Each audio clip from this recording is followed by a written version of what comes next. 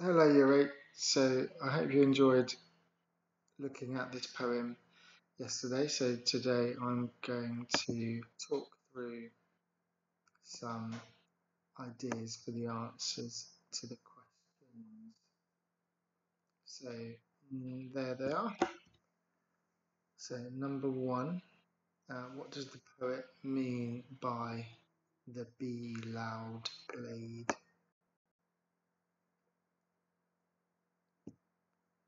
So in the line before, uh, he's talking about building a cabin um, in a very natural, old-fashioned way, and growing rows of beans and a hive for honeybees. So the bee loud glade, so the flowers and nature and the bees. So he's hoping, imagining all of the bees from his hive buzzing and making a loud noise in the glade. So that is question one. Uh, question two, find three animals that the poet mentions. So we just talked about the honeybee.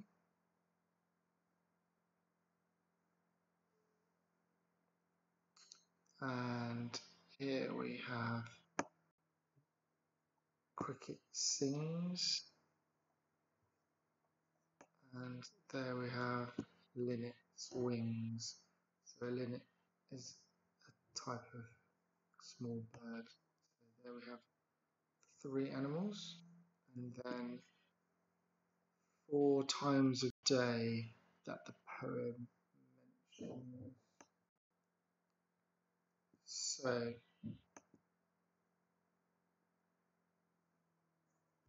we have morning, midnight, noon, and evening.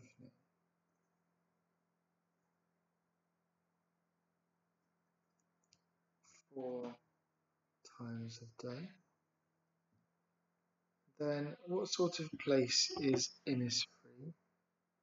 Find words and phrases in the text to support your answer.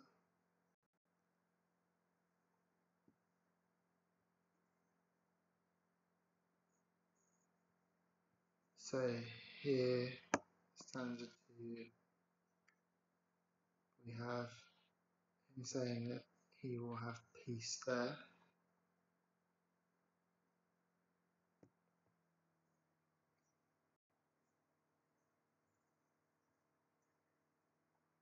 It talks about the veils of the morning and the cricket singing, so beautiful mornings and beautiful light and nature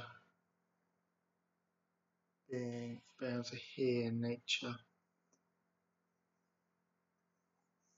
in the country and then how in on this island the midnight is glimmer like a lovely light and noon is glowing purple. Like a lovely colour and there we have the bird's wing. So it's just full of nature and beautiful colours. And um, there we have lake water and lovely sounds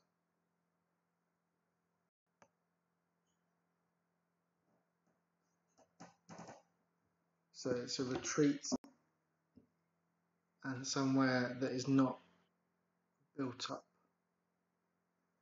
somewhere that man hasn't put their stamp on with roads and society and noise and traffic and money making, that type of thing. So it's not polluted. So question five, uh, which line is repeated in the poem?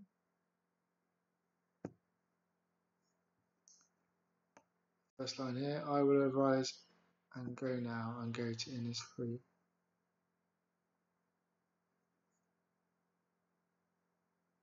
So I will arise and go now. And here we have I will arise and.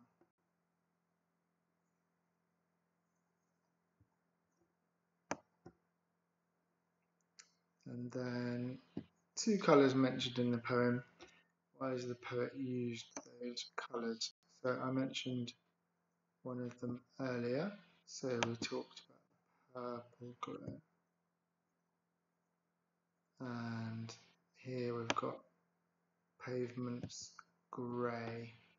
So we have two colours. Here he's talking about roadways and pavements and greyness. Symbolically that grey stands for bland and concrete and stone and built up areas that mankind has made. And here we've got noon on Innisfree being a purple glow. It's like a beautiful, luxurious, natural colour. So they contrast each other.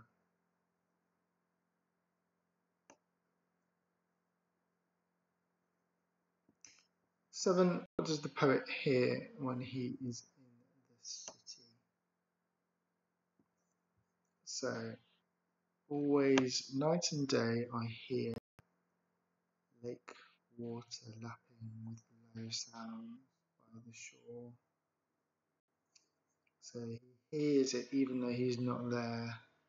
So what he's literally hearing on a roadway or pavements would be traffic and noise, but what he's imagining, what he's remembering is lake water lapping with low sounds by the shore. So a lovely, natural, gentle sound water lapping. So why does the poet want to go to Innisfree? How does he feel when he is there? So all of the questions have built up to that idea, haven't they? So he is here in the present, in the city, in the town, and all he can think about, all he can hear in his core, in his heart, a longing, a desire to be back where nature was beautiful and free, and he was alone to enjoy it without the stresses and the pressures and the trappings of everything that come with being in a town and a city living there.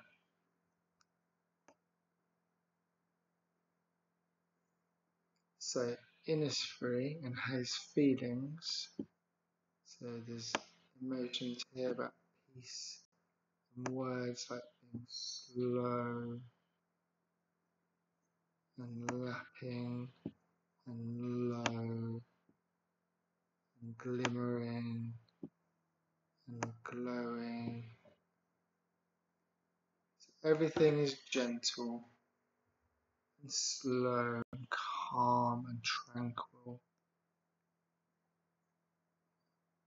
And that's why he wants to be there, because how it makes him feel. He can be where he wants to be, who he wants to be with nature. So, thank you very much. Um, if you'd like to correct your ideas and show me your work. That would be good. Uh, and today also there is a spelling test. So I hope you enjoy that too. Have a good week.